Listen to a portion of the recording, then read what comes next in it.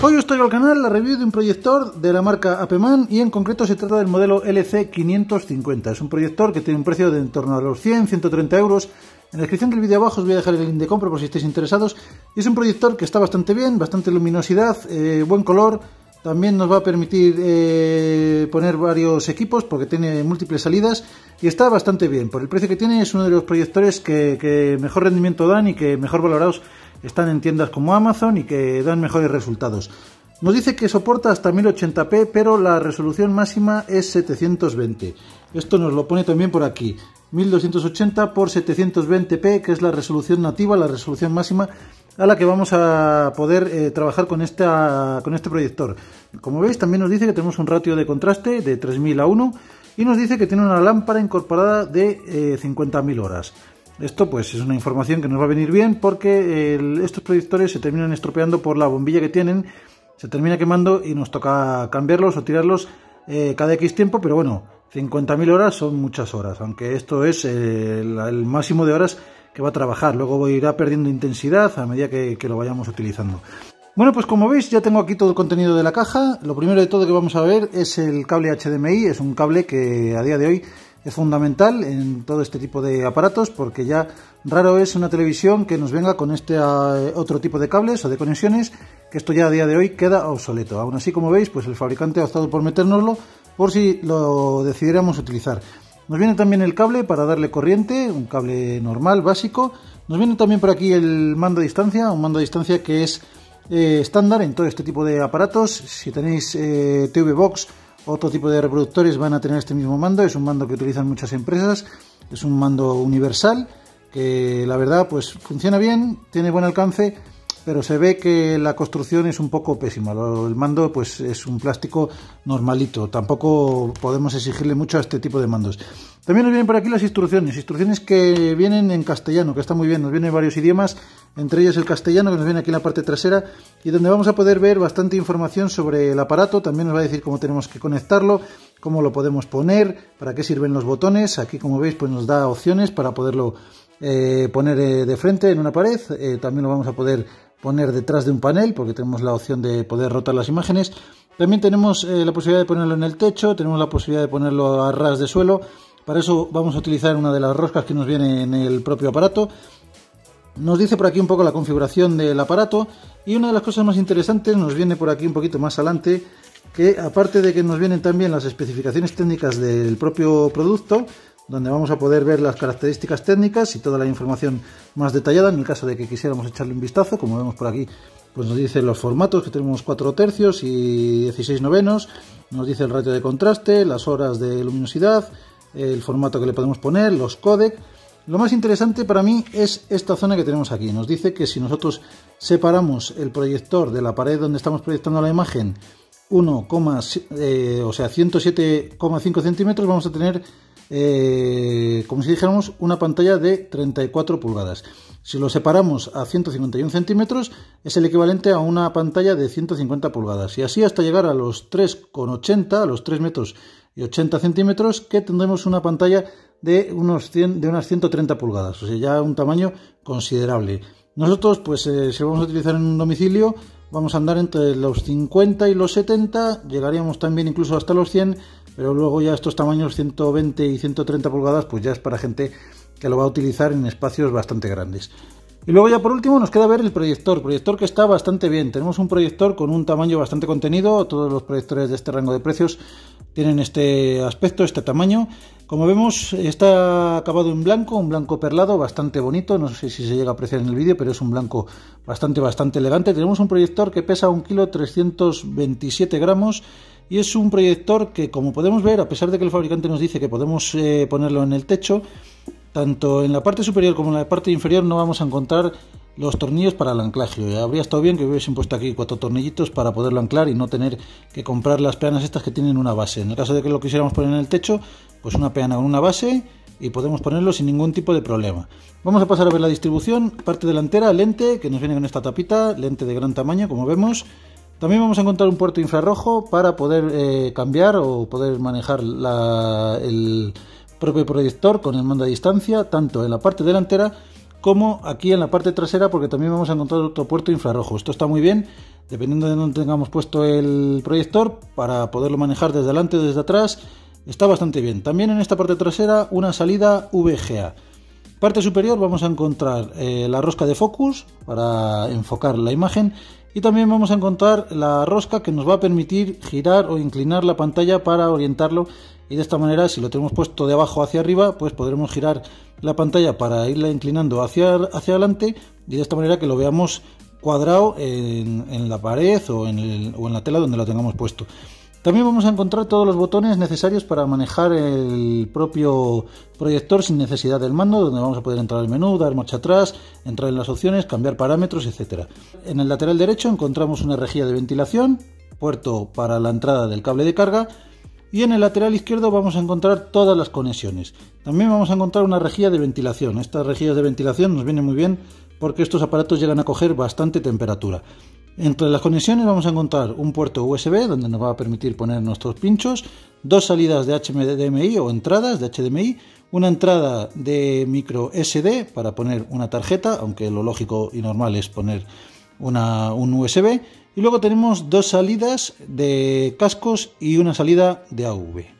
En la parte inferior, como os he comentado, no vamos a tener los anclajes para poderlo poner colgando del techo, pero sí vamos a encontrar una rosca que viene en todo este tipo de proyectores para levantarlo y de esta manera orientarlo mejor y poder calibrar y hacer que la pantalla se vea lo mejor posible. Bueno, pues una vez que hemos visto todo lo que nos viene dentro del paquete, ya solamente nos queda encender el proyector y hacer alguna que otra prueba para que veáis las imágenes y para que valoréis por vosotros mismos. Os voy a poner algún vídeo, también lo voy a conectar al ordenador y vamos a ver un poco cómo funciona y cómo hay que configurarlo. También vamos a ver el menú.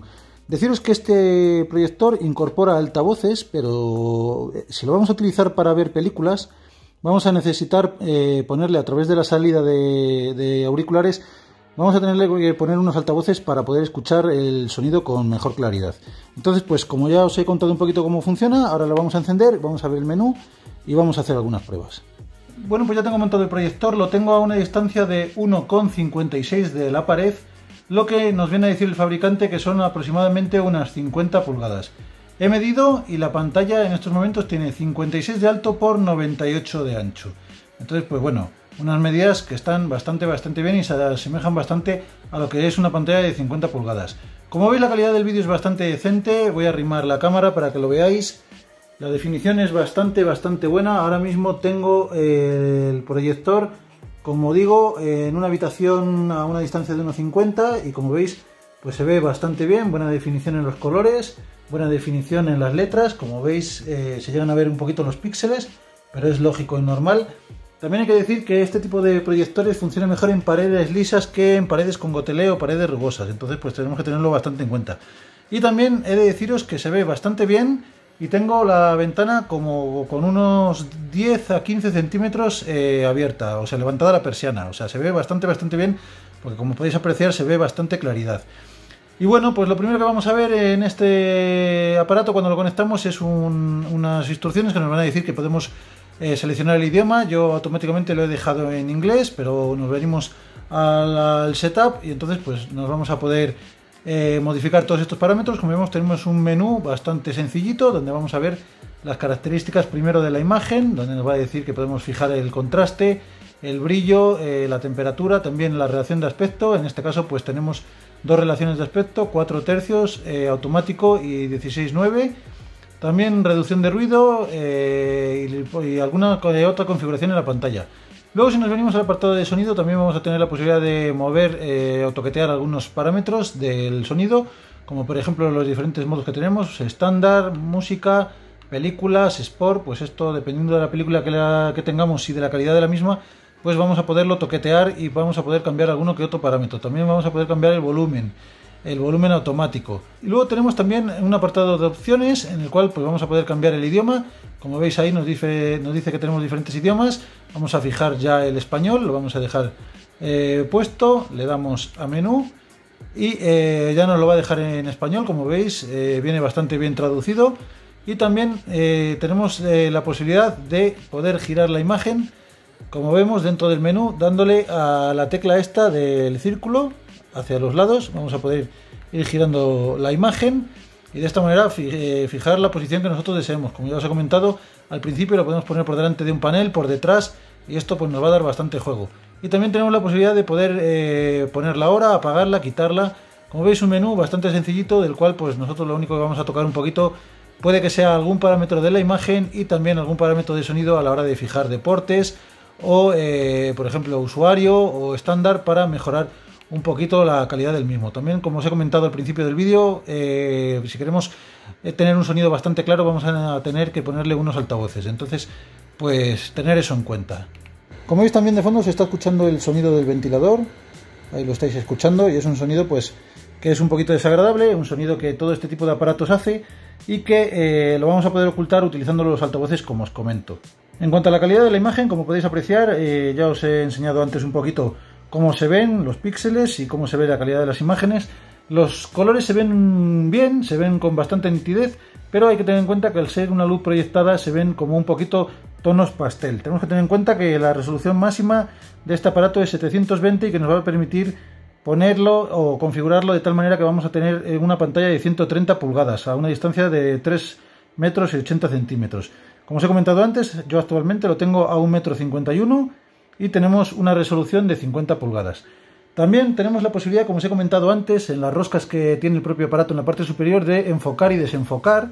Nosotros tendremos que toquetear estas teclas si no tenemos el aparato fijo en un punto, de tal manera que consigamos eh, hacer que las letras se vean lo mejor posible y de esta manera poder configurar mejor el aparato. Y luego también tenemos la posibilidad de inclinar la pantalla, como os he comentado, hacia adelante o hacia atrás. De esta manera también vamos a poder evitar un poquito si tenemos el, proyector puesto en alto o lo tenemos sujeto del techo. Como veis, bastante configurable este, este proyector y con un menú bastante sencillito, pero que nos va a permitir poder toquetear todos los parámetros necesarios para poder tener una buena imagen. Hay que tener en cuenta también que todo este tipo de aparatos, cuanto más oscura esté la habitación, mejor calidad vamos a tener. Entonces, ahora lo que voy a hacer va a ser subir la persiana al máximo para que veáis la calidad de la imagen cuando está la persiana subida y con bastante claridad. Como veis se llega a apreciar pero muy levemente. Voy a poner la persiana a mitad. Aquí ya llegamos a ver un poquito más, pero como vemos también se ve la imagen un poco velada. Voy a bajarlo hasta la posición en la que aproximadamente hay 10 centímetros, que era la posición en la que estábamos y ahora lo voy a bajar a tope. Como veis, cuanto más baja está la persiana, mejor y mayor nitidez vamos a tener en la imagen. Bueno, vamos a pasar a ver un poquito el tema de la imagen. Como ya os he comentado, los tonos tienden a ser un poco pastel en todo este tipo de, de proyectores, debido a que al final es una luz que impacta sobre una pared y que esta pared, si tenemos un fondo blanco, pues se van a ver un poco más brillantes que si tenemos un fondo oscuro. Dentro de la fotografía, eh, pues he seleccionado unas cuantas eh, imágenes que tengo por aquí. Como veis, el procesador que tiene este proyector es un poquito lento, tarda un poquito en cargarlas. La verdad que son imágenes que pesan bastante, pero eh, como veis, le cuesta un poquito tirar de ellas. Esto, si nosotros lo utilizáramos para enseñar las imágenes de un viaje, pues llegaría un momento en el que se nos haría un poquito pesado verlas. Como veis, tarda un poquito en cargarlas. Voy a seleccionar, por ejemplo, esta de aquí eh, y vamos a pasar a verla. Es una imagen eh, que la verdad que está bastante bien, buen brillo, buen color, como estáis viendo, un tono azul bastante, bastante bueno. Me voy a levantar y voy a acercar la cámara para que lo podáis ver. Buena definición, como veis ahí en la zona de los árboles, no se ven muy borrosos. Como veis, una imagen que se ve bastante, eh, bastante bien. Vamos a seleccionar otra. Como veis también buena definición en los colores, se ven bastante, bastante bien. Como veis buen brillo, se ve bastante luminoso. Eh, también hay que tener en cuenta que estoy grabando una imagen con, una cámara, entonces como podéis ver pues es un poquito lógico normal que no se llegue a ver tampoco como se llegaría a ver en la realidad, pero como veis colores bastante, bastante brillantes. Vamos a ver otra imagen. Vamos a pasar a ver también esta otra imagen. Como veis son imágenes que tienen bastante buen color, buena definición, son imágenes que he sacado de National Geographic, de Google, y vienen con una resolución bastante, bastante grande. Como veis, se llegan a ver muy bien, con buena definición, buenos colores, unas imágenes bastante, bastante brillantes. Vamos a pasar a ver una última, que es en color negro. Y aquí la tenéis, una imagen que es bastante oscura y como veis el proyector le da bastante luminosidad. Esta zona de aquí en el ordenador se veía negra y aquí pues lo vemos un poquito más claro de lo que se debería de ver pero tenemos que tener en cuenta que tampoco estamos viendo la imagen en, una pantalla de ordenador ni en una pantalla retina, que es el caso de la pantalla de mi ordenador. Y la verdad son imágenes que se ven bastante, bastante bien, aunque en la cámara no se llega a apreciar muy bien, son imágenes con muy buena definición. Como veis también aquí en la parte inferior nos sale un menú para poder rotar las imágenes, girarlas, ampliarlas, darle al play para que vayan pasando ellas solas. Un menú bastante completito también a la hora de poder pasar fotos. En cuanto a los archivos de vídeo que soporta este proyector, he de deciros que tanto en el MP4 como en el .mov no he tenido ningún tipo de inconveniente. Las imágenes se ven bien, buena calidad, buen contraste, buena definición, buen sonido, no he tenido ningún tipo de inconveniente en el punto MP4 y en el punto .mov. Luego, en la reproducción de archivos MKV, que son muchos de los archivos que vamos a poder encontrar en internet de películas, vamos a tener que utilizar eh, algún conversor o algo que nos permita pasarlo a punto .mp4 o a punto .mov o directamente buscar estos dos formatos. Porque los archivos MP4 eh, y .mov no dan inconveniente, pero en el MKV, dependiendo del tipo de compresión, eh, hay veces que el archivo se abre y no nos reproduce el sonido. En este aspecto, pues tenemos buena imagen, pero el sonido no lo llega a sacar. Y en cuanto a los archivos AVI, directamente ni los abre. Así que, como os digo, si queremos reproducir archivos en este proyector sin ningún tipo de inconveniente, tenemos que preocuparnos de tener archivos MP4 o .mov.